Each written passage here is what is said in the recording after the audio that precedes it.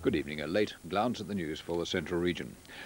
One man has been killed and another seriously injured in a factory explosion in Stoke-on-Trent. The dead man hasn't been named, but police say he was in his 20s. He was working next to an air compressor at the tailor-made castings factory in Burslem when the accident happened.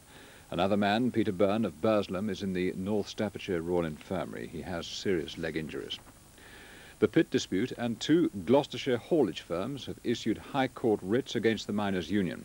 George Reed Transport and Richard Reed Transport claim NUM pickets are stopping their vehicles delivering coke to the Port Talbot Steelworks in Wales.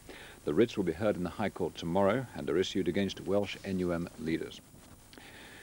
A postman has been jailed for three years for the manslaughter of a colleague. Keith Turberfield denied murdering William Stiles, who was stabbed to death at his Sutton Coldfield home.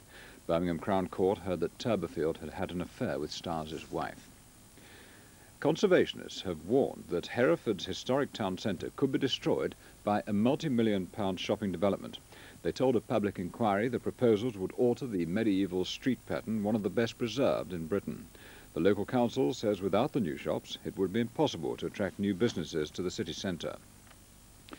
The Midland organisers of the next National Garden Festival have admitted for the first time that it will be a financial failure. The Stoke Festival is the follow-up to this year's Liverpool event. Costs were to be met by sponsorship and ticket sales, but local council organisers say they won't break even.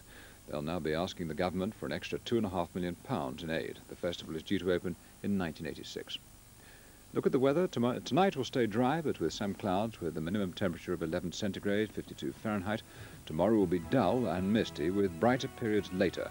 Afternoon temperatures will rise to 22 centigrade, 72 Fahrenheit. And that's it from the newsroom. Good night.